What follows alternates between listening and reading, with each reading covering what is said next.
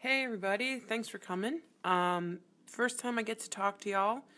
Uh, I've been a lot of behind the scenes, but uh, just painting and all that kind of jazz. But I've really enjoyed talking to everybody at conventions and you know taking DMs on Instagram and Twitter and all that jazz, and really kind of wanted to get out and just speak to you because it's so lonely when you're painting.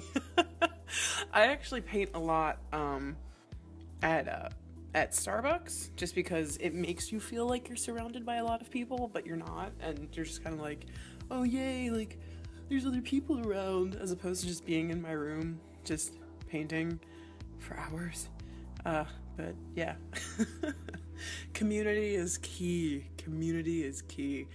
Um, speaking of hours, uh, this piece was roughly 10 hours to do. Um, just kind of, there's a lot of different changes that happened throughout the whole thing.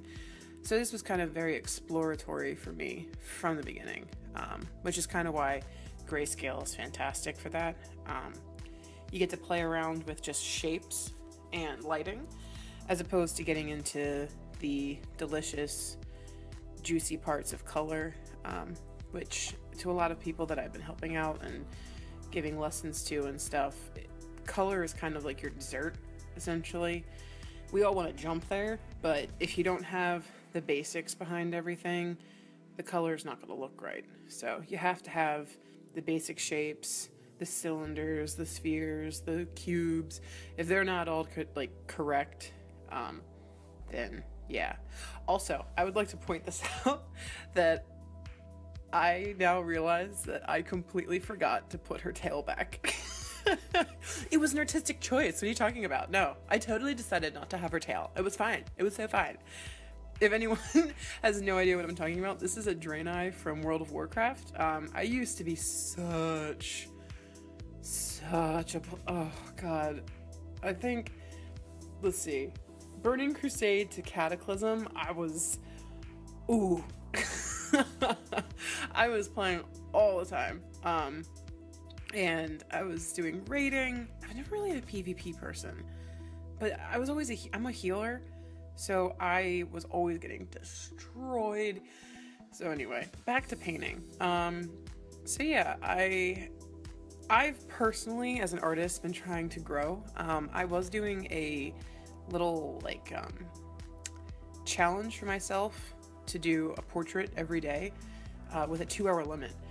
And I was showing them to my other illustrator friends and my goals, and what I want to do eventually, um, you know, or to do more fantasy art type things and, and uh, concept art and really just kind of exploring things. And um, yeah, and I was doing these portraits, and my, my one of my colleagues was like, Listen, Lauren, we know you're good at faces. So why are you just doing what you're good at. I mean, that's like, I don't know how many people lift weights, but it's like skipping leg day. it's skipping leg day. Do you even lift, bro? I'm sorry, that's such an old meme. Such an old meme. Whatever, I'm old. I'm not old. I feel old. I'm not in college anymore. I feel old though. Um, but yeah. yeah, it's so I kind of wanted to really force myself to kind of get better overall. Um, I had a lot of times where I was doing these studies of different faces. I think you can see it in, um, I think it's um, Art Challenge Day 4. Uh, you can see it in my channel, some other my, my other videos.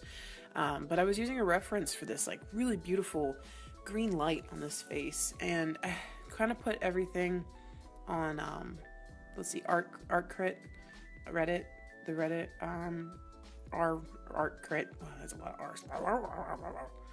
Um, um, but yeah, I put a lot out there to kind of like see, you know, other people's point of view on your work. Um, if you're not, if you can't, if you can't learn from critique, then you don't grow. Um, and that took a long time to learn. Oh my, that took a long time to learn. I was one of those artists that hid everything from everyone.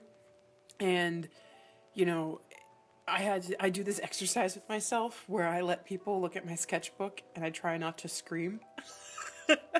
Because you're just like, yeah, no, sure, just sure, just look at my look at my sketchbook. No, it's fine. It's fine. Everything is fine right now. That's great. Thanks.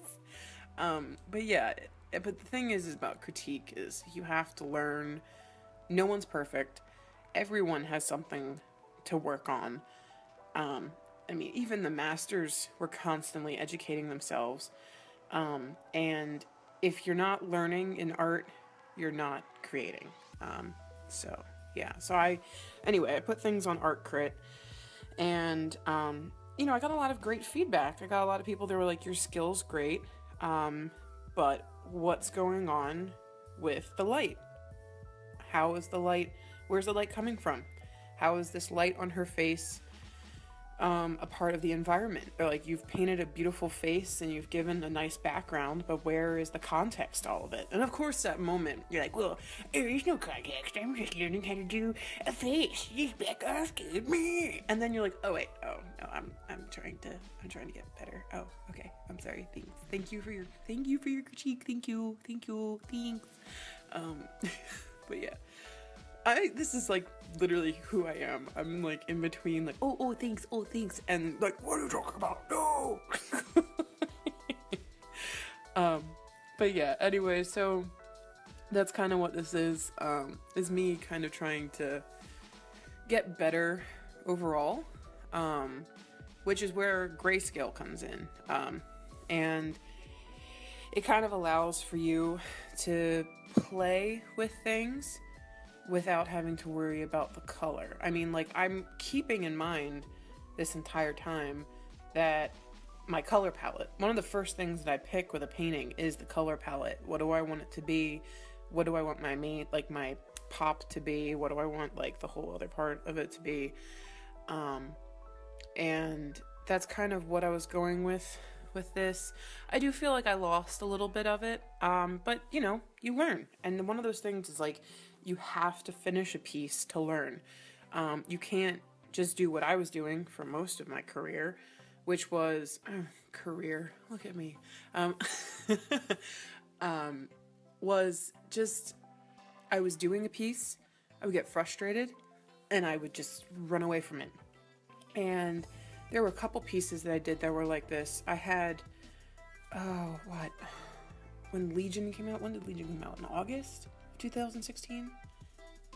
Or was it September? Anyway, whatever. Um, late 2016, I was just like loving the Legion launch, and um, I wanted to do a Tyrande and a Sylvanas, and I was just like, yes, I'm gonna paint them, yes! And then I did. And then I realized I had no idea how to paint. and I had no idea how to do color. I didn't ha- know how to do any of it. I was just like, oh God, what have I done? What have I done? Um, and I didn't know that at the time, though. At the time, I was. I, I was just so frustrated that I just stopped. I just stopped and I walked away from it. And I, looking back at them now, what I was doing was I wasn't using a color palette. I was literally taking a bunch of different pictures and color picking from a bunch of different pictures. I was painting like I wasn't painting. I was basically uh I was just color picking and like putting a red here and a green here cuz that's red and that's green. What are you talking about? Like yeah. So um so that's been something that I've been t- trying to teach myself is actually using color theory and painting. Um, and if you find that your paintings aren't working out, look into color theory. Take a moment. Um, and one beautiful thing about um, one beautiful thing about digital painting is color overlays, uh, which I've used a couple times in this piece, um, which you know got the grayscale, changed the grayscale to color, which you saw earlier, where I literally like everything got like kind of like a wash of color, essentially. Um, and it kind of allows for you to have the value there, but then you also get to play around with the color. Um, you can also make a little bit more of a harmonious, like, wash, like a glaze, if that makes sense, um, over top of the whole painting with different color overlays. Um, and the only way that I knew how to do this was to educate myself. watch other people, keep watching other people's videos, um, use references. Ooh, references. I hate hands. Well, I'm getting better at hands. I, I've, I've forced myself to get better at hands. Um, and that's another thing. I used to hide them. I was really into anime when I was little, and I would hide them in kimono sleeves. And uh, now it was like in college, I had a couple things with the human body that I didn't like to focus on. One of those was um, a male area because nude models in college. Um, you can figure that out. so there got to a certain point in my senior year where I was like, I am going to draw the hand today, and it's going to be glorious. And it was. Kind of. It wasn't. um, but yeah, so I've been kind of training myself to do hands, faces, even though I'm good at faces. Um, I have work to do. Everyone has work to do. Um, but you know, our goat hooves. Thanks, Draenei, for having goat hooves. And all of a sudden I had to learn how to do a goat hoof. Whatever. um, but yeah, each piece teaches you more about the next one. Um, and yeah, I'm kind of doing some finishing touches here. Just kind of like working the values. Oh, gotta add fire. Always gotta add fire. Um, but yeah, she does look pretty though. Little color dodge. I kind of wanted to make sure the lighting at this point was directly on her, um, which I think I kind of achieved. But yeah. Anyway, if you really, thank you for watching. Um, and if you would like more videos, please subscribe. And I will see you in the next video. Okay, bye.